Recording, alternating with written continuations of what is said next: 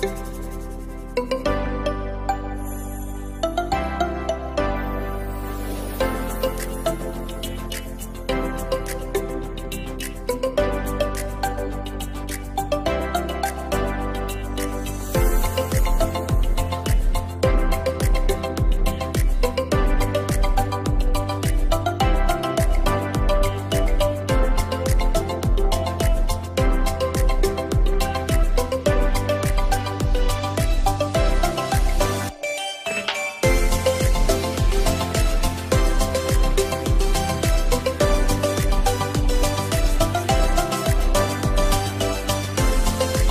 day everyone. So this is part 2 of our discussion about mail merge and our goal for today is having to create individual file, document file or PDF file with customized file names. So we will be needing the use of macros. Macros are scripts or codes developed to be able to perform certain sequences of commands. So I'd like to thank Simnoss for having to provide commands necessary to execute and, and, achieve our objective. That is the creation of individual file with customized file name. So as you could recall from our last meeting's discussion, in mail merge you have to have two files. Your source file, which is a document file, or your template, which is a document file, and your source file, which is a spreadsheet. This time, for our spreadsheet, as you could see here, there are four added columns named folder, doc folder path, doc file name, PDF folder path, and PDF file name.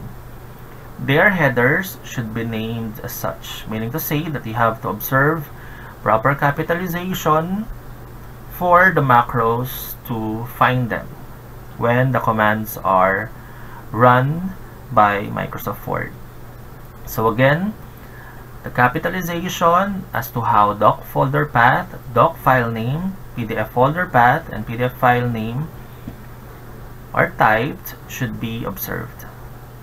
So let's start now. So let's put in so the doc folder path, meaning to say it is the location where the document file for our output can be found. So I added here two folders named doc file and PDF file. This will be the location where the individual document file can will be found after having to run mail merge and I have here the PDF file folder where the PDF generated files will be saved. So to get the path for the doc file, so I just have to open the doc file folder, click on the address bar here, and then this address should be copied. And I have to paste this here in Excel.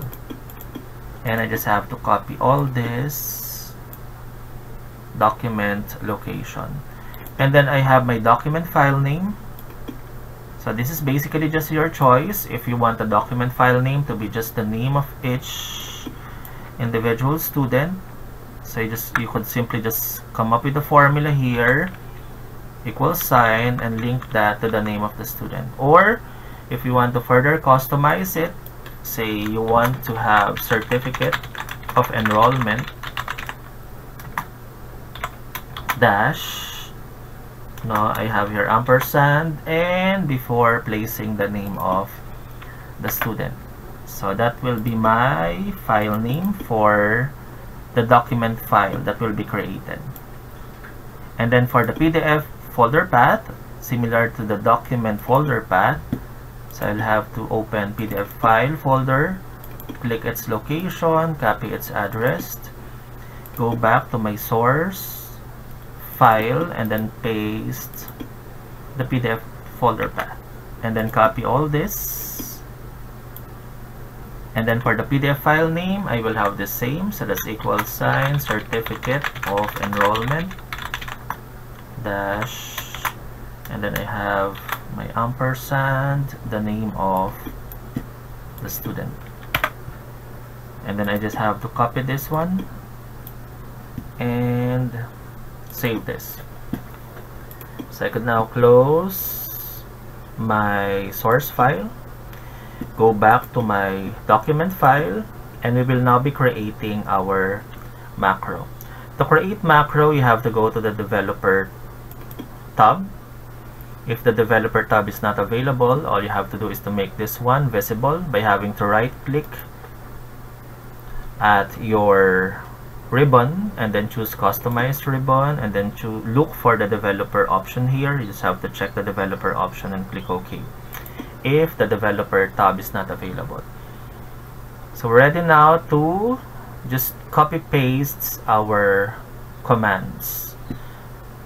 So you have your visual basic and you have your macros. Since we do not have the macro yet so we, we will be clicking visual basic and we have here our project. For our project you have to click on normal. So why are we choosing normal? We are choosing normal because we want our macro to be available even though we're making use of a different document. But if you will just be choosing a particular project meaning to say that the macro will only be available in that given project. Since we want it to be available whenever we open Microsoft Word, whenever we do mail merging, so we will choose normal. We'll right click on normal, click on insert, and we have to add a new module. So this is our new module now. It's called module 1. And this is the code provided by Simnoss. So I just have to copy all this and paste this in our given space. So once we're done let's just save this. And if you could actually see the name of our macro is mail merge to PDF basic. So let's close this one. I'll click on macros here. I look for the macro name mail merge to PDF Basic and click on Run. If in case you will encounter problem like this one, meaning to say that the link between your source file and that of your template is not updated. So we will just be ending this one and let's select the source file once again. So going back to mailings, we choose select recipients use existing list and go back to our source and then choose our source file our excel file. And then once again it's just sheet 1 click on ok and then we're ready to go. So for you to be able to see how things are going so I'll just place all these windows together I have my template here at the right side. I will open the document file here resize it so that you could see that the files are actually being created. And I will open another folder here for the PDF file or another window for the PDF file.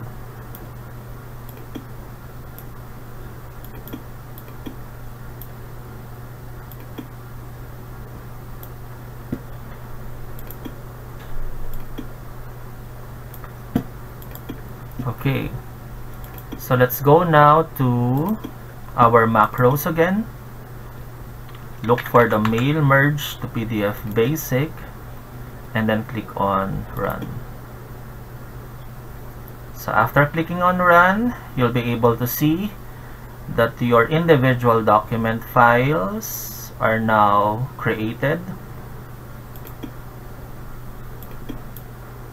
So there you go for the individual document file. The same as the individual PDF file. So that's how you basically create a customized file name for individual document file and or PDF file making use of a macro. So thank you once again to Simnoss for their codes. If you want to have access to the codes, uh, to be able to do the same, you could simply email or send an email to my email that will have an auto response to get the code for the mail merge. So this is basically my email. That's seosamhsensei at gmail.com.